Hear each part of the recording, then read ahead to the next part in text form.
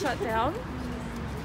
Um, they revoked the, the license so they can't accept new students, but it's ridiculous that the current students are still stuck dealing with the same staff that are trained in the same ways, the same way that Max died, any other child could die at any time because nothing's being done to prevent that.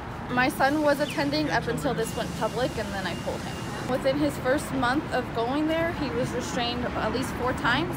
Um, each time led to this level of restraint as well, even though he's not a violent child and didn't need that level of restraint.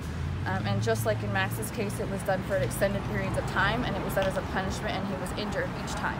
Um, the last incident that was a major incident, I went to the school itself and made the complaint and since then they did not um, touch him for the past 30 days since then. This one is the, is the permission that they have you sign that gives them permission to touch your child where it tells you that it's only going to be do, done as an emergency intervention and that these are the things that they're going to respect with your child, which clearly is not happening. Um, every parent is required to, to, sign that for their student before they can attend there. Um, so the day that this went public, I revoked the permission, which is why they wrote that here and returned the form to me, which is not a normal thing they do. Um, but just because of what happened, they did allow me to do that.